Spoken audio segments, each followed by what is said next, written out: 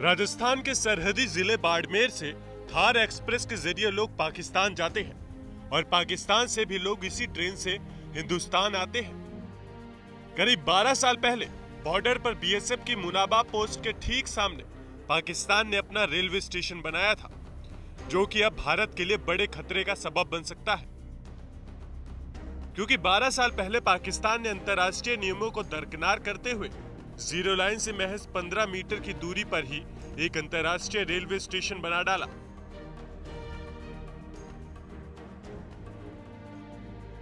भारत के लाख ऐतराज के बावजूद पाकिस्तान ने अपनी मर्ज़ी चलाई और इस रेलवे स्टेशन का निर्माण करवा दिया।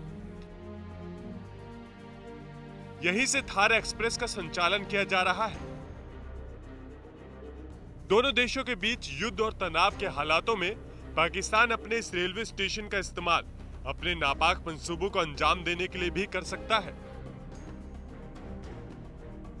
रेलवे स्टेशन बीएसएफ के मुनाबा पोस्ट से इतना नज़दीक है कि वहाँ सामने परिंदा भी उड़ रहा हो तो सीधे नज़र आ जाता है।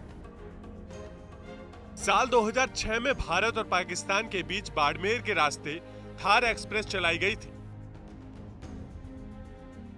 दोनों देशों की ओर से इमिग्रेशन कस्टम और जाँच के लिए रेलवे स्टेशन बनाना तय हुआ था। भारत ने ज़ीरो लाइन से करीब डेढ़ किलोमीटर दूर मुनाबाब रेलवे स्टेशन पर ही समस्त सुविधा युक्त अंतर्राष्ट्रीय स्तर का रेलवे स्टेशन बनाया। जबकि दूसरी ओर पाकिस्तान अपनी पर उतर आया। पाकिस्तान ने ज़ीरो माइल से 15 मीटर की ही दूरी पर तीन चद्दर डालकर रेलवे स्टेशन खड़ा कर दिया। बीएसएफ और खुफिया एजेंसी की ओर से केंद्रीय गृह मंत्रालय को इस बारे में जानकारी भी दी गई।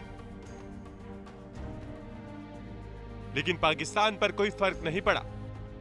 महानिरीक्षक स्तर की बीएसएफ एवं पाक रेंजर्स की बैठक में भारत ने कहा कि नियम के मुताबिक 150 मीटर की दूरी पर यह रेलवे स्टेशन होना चाहिए।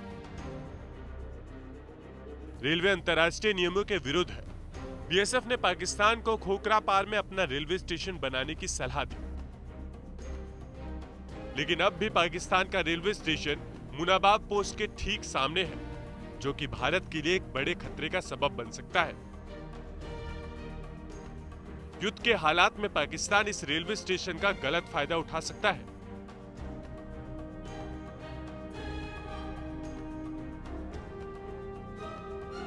ब्यूरो रिपोर्ट, राजस्थान तक।